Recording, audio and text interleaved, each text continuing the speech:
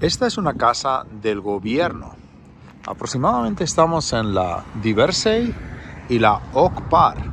Y ahora vamos a entrar a ver porque es una casa espectacular, que el terreno de esta casa llega hasta aquí, es un lote muy grande y la casa está súper bien con tres niveles. Esta casa tiene un precio excepcional y la vamos a ver ahora mismo porque siendo del gobierno les quiero recordar que cuando son del gobierno son un poquito más bajas de precio que las casas del banco.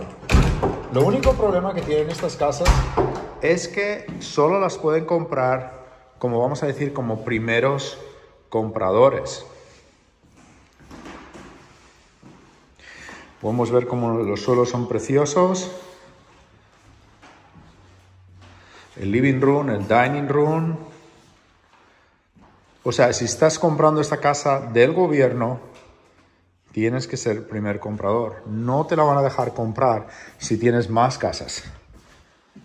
Por lo menos en los primeros días de la transacción.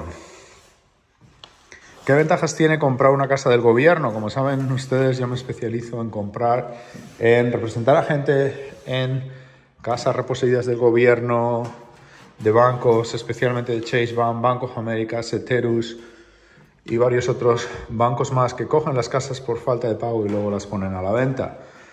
Y no soy nuevo en esto porque llevo haciendo esto desde el año 2004 en todo Chicagoland. O sea, tengo ya 20, más de 20 años de experiencia en este sistema de los bancos y casas reposeídas y todo esto. Vamos a ir a la parte de arriba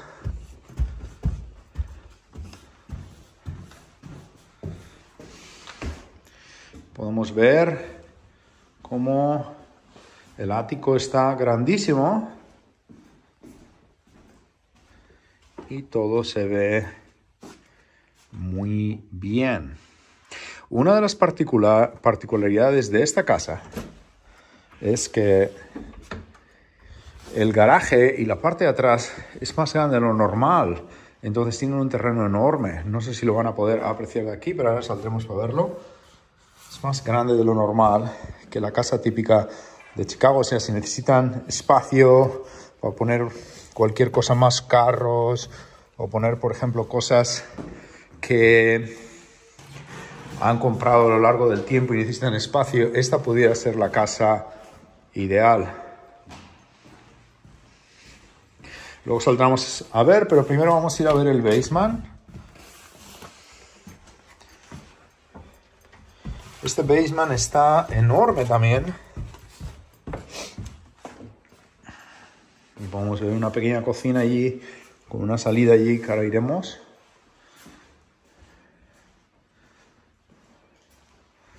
Y podemos ver cómo hay un baño completo aquí ya en el basement. Y una habitación y otra habitación. Se ve que aquí definitivamente no ha entrado agua porque está muy seco. Y vamos a salir, a ver si podemos salir y podemos ver lo que estaba hablando yo.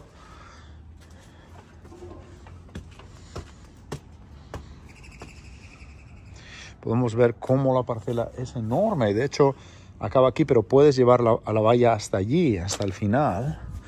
Y déjame ver cómo ves, cómo la casa está excepcional, techo nuevo, el ladrillo es impecable, está muy bien. Esto necesita un poquillo de reparación.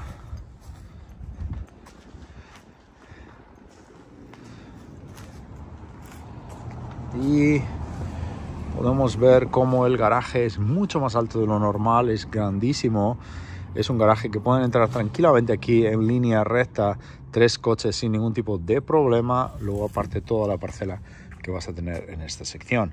Hablando no solo eso, hablando del área, lo buena que está el área aquí en la Diversa y la Opar. Muy cerca del Brickyard y excepcional.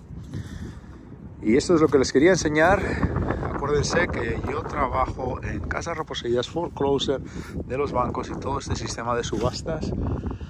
ya hace más de 20 años, desde el año 2004 exactamente. Saludos otra vez, Santiago Sánchez, y si tienen cualquier duda en esta casa, simplemente escriban en el vídeo.